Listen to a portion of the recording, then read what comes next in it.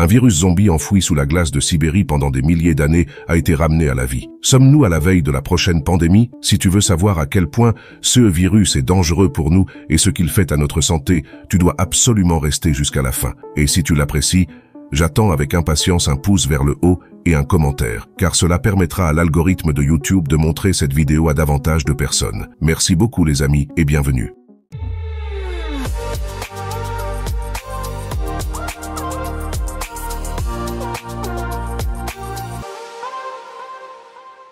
Une équipe dirigée par les chercheurs français Jean-Marie Olympique et Mathieu de Genre de l'Université de Marseille a ressuscité un virus zombie vieux d'environ 50 000 ans qui avait été enterré dans un lac gelé en Russie pendant les derniers millénaires. Et comme si ce n'était pas assez de matière pour un nouveau film d'apocalypse de zombies, ces choses sont aussi contagieuses. Pourquoi les scientifiques font-ils ça? Ils n'ont jamais vu de film d'horreur? Bon, avant de paniquer et de voir à quel point ce virus de Mathusalem est vraiment contagieux, faisons une petite excursion dans le climat mondial. Environ un quart de l'hémisphère nord est recouvert par ce que l'on appelle le permafrost, c'est-à-dire que le sol est complètement gelé. Mais le réchauffement de la planète entraîne la fonte de ces aspergélisols et des glaciers dans toutes sortes de régions du monde, et la glace éternelle se retire. Dans certaines régions de Sibérie, la glace a déjà complètement disparu, laissant apparaître des choses vraiment étranges. Un peu comme sur mon bureau, quand je balais les miettes de chips sur le côté. Il y a des choses qui apparaissaient aussi, mais c'est loin d'être aussi effrayant qu'en Sibérie. En l'an 2007, le berger de Rennes Juri Choudi a découvert le cadavre d'un bébé mammouth, mis à nu par la fonte des glaces. Normalement, le permafrost en Sibérie est constamment gelé, mais comme nous l'avons dit, la terre se réchauffe et donc la glace fond toujours à certains endroits. Le mammouth de 50 kilos avait plus de 10 000 ans et a été parfaitement conservé dans la glace. Les experts en clonage rêvent déjà de la renaissance des mammouths. Dans les restaurants, il y aurait probablement quelque chose comme le chili con mamousse ou un délicieux rôti de croûte de mammouth. Ok, je ne devrais pas produire de vidéos quand j'ai faim. Mais quel est le rapport avec le virus? Beaucoup de choses, parce que le dégel du permafrost ne fait pas seulement apparaître de doux mammouths, mais aussi toutes sortes de matières organiques, des microbes cellulaires, et avec l'apparition de cadavres d'animaux, des virus préhistoriques. Et bien sûr, les scientifiques doivent bien connaître ces, ces virus afin d'éviter tout danger potentiel pour l'humanité. C'est pourquoi les chercheurs ont maintenant ressuscité 13 de ces virus zombies de la glace éternelle, isolés de 7 permafrosts différents. Il faut s'imaginer cela. Ces virus sont restés sous la glace pendant des milliers d'années. Et tout à coup, quelques humains viennent les sortir de leur sommeil.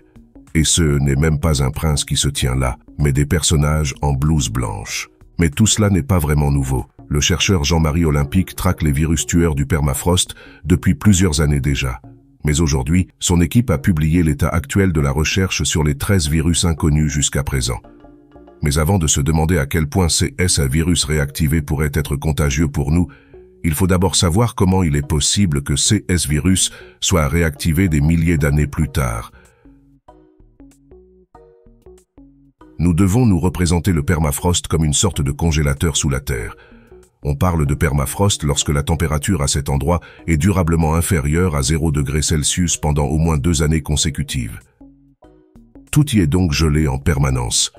Dans de telles conditions, la matière organique peut très bien se conserver. Tu as peut-être déjà entendu parler de l'idée de la cryoconservation. Les cellules ou les tissus sont congelés dans de l'azote liquide et la vitalité des cellules est maintenue dans le meilleur des CAS.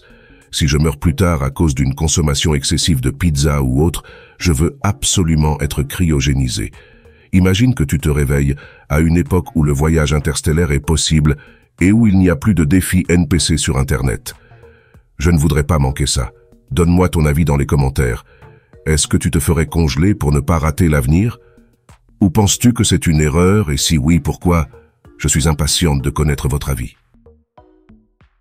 Bon, avant que cela ne devienne trop philosophique, revenons à nos virus. Dans un laboratoire, les chercheurs ont rendu ces virus à nouveau virulents dans des cultures cellulaires, c'est-à-dire qu'ils les ont réveillés d'entre les morts. C'est de là que vient le nom de virus zombie, pas parce que ces virus peuvent tous nous transformer en zombies.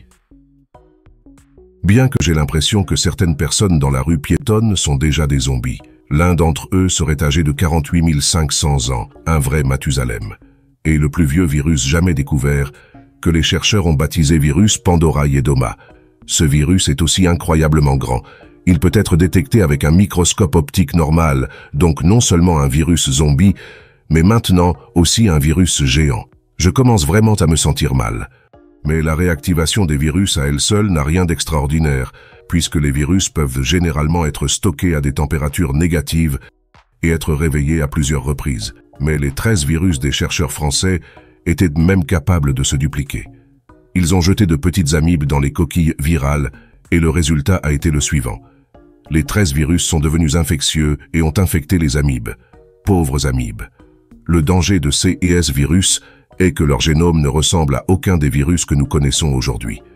Si ce virus se répandait et affectait aussi les humains, nous n'aurions aucune recherche et encore moins de médicaments.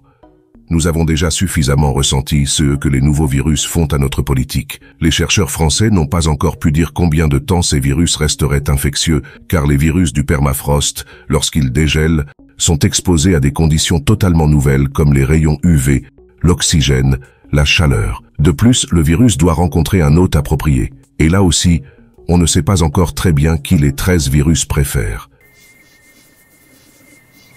Oh my god. She's so drunk. Le message rassurant des chercheurs, non, l'actionnisme panique n'est pas de mise pour le moment.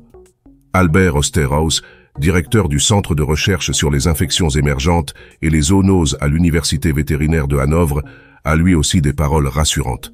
Il dit « Les chances que de tels virus entraînent des problèmes vraiment importants sont faibles, mais jamais absentes à 100%. Il estime que le danger que représentent de tels virus zombies est faible, surtout si les virus ont dormi dans des cadavres d'animaux vieux de plusieurs milliers d'années. Mais la situation est différente si les chercheurs tombent sur des cadavres humains dans les glaces éternelles. Dans ce cas, le risque est grand de voir apparaître des virus pour lesquels notre système immunitaire n'est tout simplement plus entraîné. Alors, si jamais tu fouilles dans les glaciers ou le permafrost et que tu trouves une momie conservée par la glace, sois le premier à le dire à Brendan Fraser.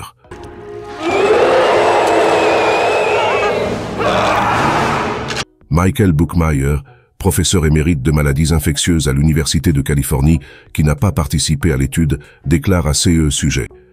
Rien dans l'étude ne suggère que CS virus sont capables d'infecter les humains. Il estime qu'il est très improbable qu'une future pandémie soit causée par un agent pathogène ressuscité dans l'étude. Nous pouvons donc retenir que les virus réactivés ne représentent pas un danger pour notre santé, du moins pas encore. Mais les études sont encore trop peu nombreuses pour pouvoir tirer des conclusions vraiment fiables. Avec leur publication, les chercheurs marseillais espèrent que d'autres scientifiques les aideront à y voir plus clair dans le monde des virus zombies. C'est une idée très importante et j'espère que les scientifiques continueront à travailler sur le sujet. Car qui sait ceux qui se cachent dans le permafrost et qui pourraient être libérés à l'avenir Si tu n'as pas encore la chair de poule à cause de tout, ce spermafrost accroche-toi. Il se peut qu'un changement de pôle se produise bientôt et qu'un tel événement bouleverse le climat et toute notre civilisation. Pour savoir si le danger est réel et quand nous devons nous attendre à un changement de pôle, regarde la vidéo ci-dessous. Et si tu veux soutenir mon travail, Va faire un tour dans la boutique de l'espace, tu y trouveras de vrais météorites, les t-shirts des vidéos et bien plus encore. Sinon, je te dis à la prochaine vidéo. Au revoir les amis. Les